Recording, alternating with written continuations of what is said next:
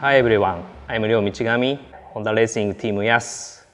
I'm gonna explain Suzuka circuit. Uh, here we go. えーとこの鈴鹿サーキットはですねあの非常に日本でももちろん有名なサーキットなんですけれども非常にチャレンジングなコースです、えー、F1 も行われているサーキットですし日本のドライバー誰もが憧れるサーキットです今1コーナー曲がって2コーナーなんですけども、えー、とここから、えー、と有 S 字カーブに差し掛かります。ここは1つ目のリ,、えー、とリズムが狂うと全部後が続かなくなってしまうので非常な非常に重要なコーナーです、えー、今ここ逆バンクですね。ここから、えー、ダンロップコーナーに駆け上がります、えー、かなり、えー上り勾配があるんですけれどもここから、えーと、ベグナーカーブに進入していきます、えーと、ここちょっと縁石引っ掛けると,、えーと、跳ねやすいので気をつけないといけないですね。でここから、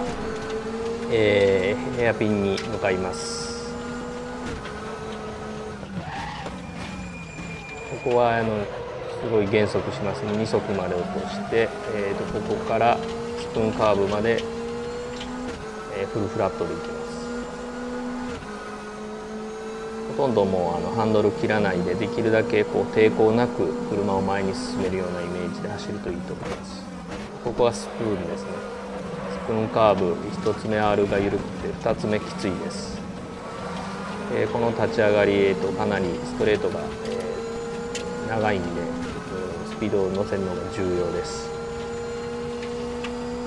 えここから、え次に 130R というハイスピードコーナーに差し掛かります。でその後、え試験員ですね。ここフルブレーキングで、えブレーキのロックに気をつけてターンしていきます。ここから、えー、バックストレートあメインストレートですね。メインストレートにつながるのでこれで1周ですね。でフィニッシュラインです。